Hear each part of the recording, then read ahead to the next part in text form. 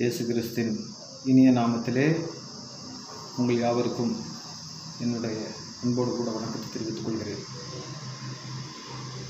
அன்புடைய மாணவர்கள் இந்த காணொளியை காண்கின்ற மாணவர்கள் இரண்டாம் ஆண்டு புதுத்தமிழ் அதிலே இருக்கின்ற முதல் அதிகாரம் முதலிலே இருக்கின்ற அழகு ஐந்து அதிகாரமுடைய திருக்குறள். இந்த ஐந்து அதிகாரங்கள் கொண்டதிலே இரண்டு அதிகாரத்தை நாம் சென்ற வகுப்பில் காண்டோம். இந்த வகுப்பிலே பொருட்பால் ஆகிய அதிகாரம் இறைமாட்சி அப்படிங்கிற அதிகாரத்தை நாம் காண இருக்கிறோம்.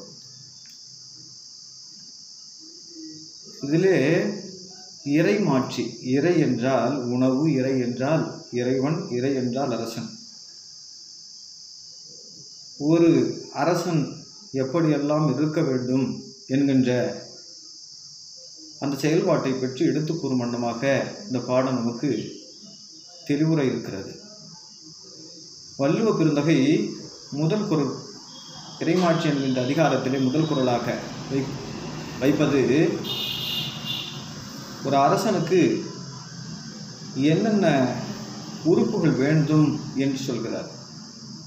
ஒரு சாதாரண மனிதனுக்கு என்னென்ன உறுப்புகள் இருந்தால் இவன் மொ- மக்கள் என்று சொல்கிறார்களோ அதுபோன்று ஒரு அரசனாக இருக்கின்றவனுக்கு எத்தனை உறுப்புகள் வேண்டும்? அவர் அவையெல்லாம் எப்படி இருக்க வேண்டும்? ஒரு அரசன் எப்படியெல்லாம் வாழ வேண்டும்? என்கின்ற அந்த அதிகாரங்களை பற்றி கூறும் வண்ணமாக இந்த இறைமாட்சி என்கின்ற இந்த அதிகாரத்தை அமைத்திருக்கிறார். மேலும் வல்லோ பெருந்தகை அன்று முடியரசு அன்று காலத்திலே முடியரசு என்கின்ற அந்த மூவேந்தர்கள் அதாவது சொல்கின்ற இந்த சிற்றரசர்கள் பேரரசர்கள் என்கின்ற அந்த வேந்தர்களை பற்றி கூறுகின்ற பாடலாக இருந்த வண்ணமாக இருக்கின்றா இருந்தாலும் இப்பொழுது இந்த குரட்பாக்கள் அனைத்தும் இப்போ உள்ள அரசுக்கும் பொருந்தும். அதாவது இப்போ உள்ள அரசு மாநில அரசு அல்லது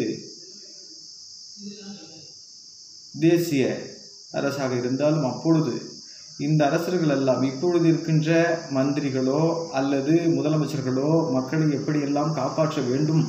எப்படியெல்லாம் இருந்தால் நாட்டை காப்பாற்ற முடியும்? என்பதை பற்றி எளிய அழகான இரண்டடியிலே கூறப்பட்ட குரலாக தென்படுகிறது. இறைமாட்சி என்கின்ற அதிகாரத்திலே முதல் குரலாக நாம் பார்க்க இருக்கிறோம். படை குடி கூழ் அமைச்சு நட்பர நாரும் உடையான் அரசுடையரு இந்த அரசன் என்கின்றவன் ஆறு உறுப்புகளை பெற்றிருக்க வேண்டும். அப்படி அறு அந்த ஆறு உறுப்புகளை பெற்றிருந்தானே ஆனால் அரசுகள் ஏறாக நினைக்கப்படுவான். மக்களால் ஆண் சிங்கம் ஒன்று அரசருள் ஏறு என்று சொன்னால் ஆண் சிங்கம். அரசரில் ஆண் சிங்கமாக கருதப்படுவான் என்று. சரியான படை இருக்க வேண்டும். முப்படைகளும் சரியாக இருக்க வேண்டும். கூடி கூடி மக்களை காப்பாற்றும் வண்ணமாக அரசன் திகழ வேண்டும். மூன்றாவது கூழ் கூழ் என்று சொன்னால் உணவு. உணவை சரியாக பகிர்ந்தளித்து மக்களிடையே கொடுக்கின்றவனாக இருக்க வேண்டும். அடுத்தது அமைச்சு அமைச்சு அமைச்சு அமைச்சரவை சரியான முறையிலே தென்படுவனாக இருக்க வேண்டும். அடுத்தது நட்பு நட்பு அடுத்த நாட்டுடனும் அடுத்த மக்களிடனோ நட்புறவை பாராட்டும் வண்ணமாக. இருக்கின்ற ஒரு அரசனாக இருக்க வேண்டும். அடுத்தது அரண். அரண் என்றால் நாம் நம்பி இருக்கின்ற மக்களை அரணாக நின்று காப்பாற்றுவனாக இருக்க வேண்டும். இந்த ஆறு உறுப்புகளை பெற்றவன் எவனோ? அவன் அரசருள் ஆண் சிங்கமாக கருதப்படுவான் என்று திருவள்ளுவர் திருக்குறளில் முதல் திருக்குறளில் கூறியுள்ளார். இரண்டாவது திருக்குறளாக அஞ்சாமை ஈகை அறிவுக்கும் என்னான்கும் எஞ்சாமை வேந்தற்கு இயல்பு. அஞ்சாமை. அஞ்சாமை என்று சொன்னால் பயப்படாது. ஈகை என்று சொன்னால் கொடுத்து உதவுவது. அறிவு என்று சொன்னால் அறிவு தான் நற்றம் காக்கும் கருவி. அறிவு அறிவு செறிவுற இருக்க வேண்டும். ஊக்கம் ஊக்கம் என்று சொன்னால் அடிக்கடி சுறுசுறுப்பாக இருப்பது. எனும் இந்த நான்கு பண்களும் பண்புகளும் குறைவுபடாமல் இருப்பவனே அரசனுடைய இயல்பாக கருதப்படுவான். அப்படி என்று இரண்டாவது திருக்குறளிலே திருவள்ளுவ பிறந்தவை கூறியிருக்கிறார். மூன்றாவது குரலாக தூங்காமை கல்வி துணிவுடைமை இம்மூன்று நீங்கா நிலநாண்பவருக்கு. அரசனாக இருக்கின்றவன் எப்படி இருக்க வேண்டும் என்று சொன்னால் காலம் தாழ்த்தான். தூங்காமல் அடுத்தது கல்வி கல்வி உடைமை. அடுத்தது துணிவு துணிவு உடைமை. இந்த மூன்று பண்புகளும் இருக்கின்றவன் அரசனாக இருக்க முடியும். இந்த மூன்று பண்புகளும் நீங்காமல் இருக்க வேண்டியதாகும் அப்படின்னு சொல்லிட்டு காலம் தாழ்த்தக்கூடாது. கல்வியில் சிறந்தவனாக இருக்கணும். துணிச்சல் அதிகமாக இருக்கணும். இந்த மூன்றும் உள்ளவன் தான் நிலநாள்க முடியும் அப்படி என்று சொல்கிறார். அடுத்தபடியாக நான்காவது திருக்குறளிலே அறிவினிழுங்காத அல்லவை நீங்கி மரநிழுங்கா மானமுடையது அரசு. இதில் என்ன போடுறான்னு சொன்னால் ஆட்சி முறைக்கு உரத்தான அறத்தில் தவறாமல் அந்த நீதி நிறுத்தி பிழறாமல் அறமல்லாதவற்றை நீக்கி வீரத்தில் குறையவற்று மானத்தில் உடையவனு சிறந்த மன்னவனாவான். வீரத்தில் சிறந்து விளங்கணும். மானம் உடையவனாக இருக்க வேண்டும். மானம் உடையது அரசு. அப்படி மானம் உடையவனாக இருந்தால்தான் அவன் செம்மையான அரசனாக இருக்க முடியும் என்று வள்ளுவர் பெருந்தகை கூறுகிறார். ஐந்தாவது குரலாக இருப்பது இயற்றலும் ஈட்டலும் காத்தலும் காத்த வகுத்தலும் உள்ளது அரசு. அப்படி என்று கூறுகிறார். இயற்றல். இயற்றல் சொன்னால் பொருள் வரும் வழிகளை மேன்மேலும் உருவாக்குவது. இயற்றல். அடுத்தது வந்த பொருள்களை சேர்ப்பது ஈட்டல். அடுத்தது காத்தல். காத்தல் சொன்னால் அதை காத்து வைப்பது. அந்த காத்தவற்றை வகுத்து மக்களுக்கு திரும்பி தருவது அதுதான் வந்து சரியான முறையாக இருக்க முடியும். அவன்தான் உண்மையான அரசனாக இருக்க முடியும் என்று சொல்லி முதல் இயற்றல் இயற்றல் சொன்னால் வரும் பொருள் வரும் வழிகளை கண்டறிவது மேலும் மேலும் உருவாக்குவது அதுக்காக பெரிய தொழிற்சாலைகளை உண்டு பண்ணுவது அதற்காக வந்து நிறைய அற அற அறச்செயல்களாக புரிவது இயற்றல். அடுத்தது ஈட்டல். ஈட்டல் சொன்னால் அந்த உருவாக்குகிற பொருளை சேர்த்து காத்து வைப்பது அதை வந்து முறையாக மக்களுக்கு பங்கிட்டு கொடுப்பது இவன் தான் அரசனாக இருக்க முடியும் என்று வள்ளுவ பெருந்தகை கூறுகிறார். அடுத்தபடியாக ஆறாவது குரல்.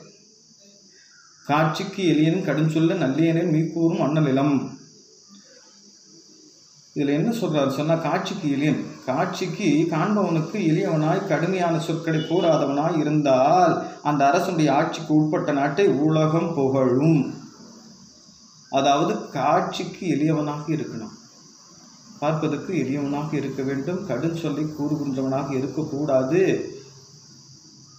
அவனை பற்றி இந்த உலகமே புகழ்ந்து பேசும் அப்படின்னு சொல்லிட்டு அந்த ஆட்சிக்கு உட்பட்ட நிலத்தை கூட உலகம் புகழ்ந்து பேசும் அப்படின்னு சொல்லிட்டு சொல்கிறார் வள்ளுவர் பிறந்தகை அடுத்தபடியாக ஏழாவது குறியிலே இன்சொலால் ஈத்தளித்த வல்லார்க்கு தன் சொலால் தான் கண்டனைத்து இவ்வுலகு அப்படின்னு சொல்கிறார் இனிய சொற்களை பேசி தக்கவற்றிற்கு உதவ வல்லவன் இவ்வுலகம் தன் புகழோடு தான் கூறியபடி அமைவதாகும்.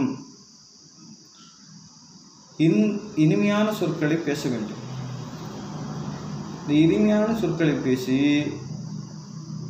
எல்லா மக்களையும் தன்மைப்படுத்திட்டார் சொன்னால் அவனுக்கு இந்த உலகம் புகழோடு அவன் நினைத்தபடி அமைஞ்சிரும் அப்படின்னு சொல்லிட்டு வள்ளுவ பிறந்தகை கூறுகிறார். அடுத்தபடியாக எட்டாவது குரலாக இருப்பது முறை செய்து காப்பாற்றும் மன்னவன் மக்களுக்கு இறையென்று வைக்கப்படும். அதாவது முறையான நீதி வழங்கி குடிமக்களை காப்பாற்றும் அரசன் மக்களுக்கு தலைவன் என்று தனியே கருதி மதிக்கப்படுவான் அப்படி என்று கூறுகிறார் முறையான நீதி வழங்கி நாம் பார்த்திருக்கிறோம். மனுநீதி சோழன் என்ற ஒரு அரசனை வரலாற்று ரீதியாக காண முடிகிறது. அந்த அரசன் தன்னுடைய மகன் ஒரு கன்றை கொண்டதன் காரணமாக அவன் மகனை தேர்காலிலே தேர் சக்கரத்தில் வைத்து அரைத்து கொன்றான். நீதி வழங்குவதற்காக என்று சொல்லி மனுநீதி சோழனை பற்றி பார்க்கின்றோம். அதுபோன்று முறையாக நீதி வழங்க வேண்டும். குடிமக்களை காப்பாற்ற வேண்டும். ஆளுக்கொரு நீதி ஜாதிக்கொரு அமைப்பு என்கின்ற எல்லாம் இல்லாமல் எல்லோரும் சரிசமமாக வழிநடத்த வேண்டும். குடிமக்களை ஓம்ப வேண்டும். அப்படி இருக்கின்ற அரசன் தான் அரசனாக இருக்க முடியும். முறையான நீதி வழங்கி குடிமக்களை காப்பாற்றும் அரசன் மக்களுக்கு தலைவன் என்று தனியே கருதி மதிக்கப்படுவான். மக்களுக்கெல்லாம் இவன் தலைவனாக இருக்க முடியும் என்று சொல்லி மக்களாலே மதிக்கப்படுவான் என்று செய்க சொல்கின்றார். அடுத்தபடியாக குரலில் செவிகைப்ப சொற்பொருக்கும் பண்புடை வேந்தன் கவிகை கீழ் தங்கும் உலகு. குறை சொல்பவர்களின் சொற்களை செவியால் கேட்டு பொறுத்து கொள்ள இயலாத நிலையிலும் பொறுக்கின்ற பண்பு உடையவன் அரசனின் குடநிலையில் உலகத்தங்க அதான் வந்து அதாவது குறை சொல்கின்ற கூறுவார்கள். நிறைய மக்கள் எல்லாம் இல்லை அடுத்த அரசர்களோ குறை கூறுவதிலே வல்லவர்களாக இருக்கின்றவர்கள் எல்லாம் குறை கூறுவார்கள். அந்த குறைகளை எல்லாம் காதில் செவியில் கேட்டு பொறுத்து கொள்ள முடியாத பட்சத்திலும் கூட பொறுத்து கொண்ட நிலையில் அவன் ஆட்சி செய்கின்றான் செம்மையாக ஆட்சி புரிகின்றான் என்ற பட்சத்தில் அவன் நிழலிலே இந்த உலகம் தங்கி தங்கும். அவன் நிழல் அவனுடைய குடை நிழலிலே உலகம் தங்கும் என்று திரு திருவள்ளுவர் பெருந்தகை சொ- கூறியிருக்கிறார். அடுத்தபடியாக பத்தாவது குரலிலே குடையெறி செங்கோல் குடியோம்பல் நான்கும் உடையானாம் வேந்தற்கு ஒளி. இதில் கூறப்படுவது கொடை. அருள் கொடுப்பது. கொடை என்றால் கொடுப்பது. அருள் என்று சொன்னால் ப- அது அருள் நெறியோடு பார்ப்பது. அவனை வந்து சாதாரண மக்களை கூட அருகூர்ந்து பார்ப்பது. கனிவோடு பார்ப்பது. அருள். செங்கோல் முறை. செங்கோல் முறை என்று சொன்னால் அவன் கைத்திருக்க கையில் வைத்திருக்கின்ற அந்த செங்கோலை பிடித்த வண்ணமாக ஆட்சி புரிவது அந்த ஆட்சியிலே நீதி நெறி அறம் பிழறாமல் வாழ்வது இந்த செங்கோல் முறை. தளர்ந்த குடிமக்களை கருத்து தளர்ந்த குடிமக்களை காற்றின ஏழை எளிய மக்களை காப்பாற்ற வேண்டும். அவனுடைய ஆட்சிக்கு இருக்கின்ற எளிய ஏழை குடிமக்களை காப்பாற்ற வேண்டும். அப்படி காற்றா காப்பாற்றும் இந்த நான்கையும் செய்கின்ற அரசன் அரசருக்கெல்லாம் விளக்கு போன்றவனாக இருப்பான் அரசருக்கெல்லாம் தீபம் போன்றவனாக இருப்பான். குஞ்சின் மேலிட்ட தீபமாக காணப்பெறுவான்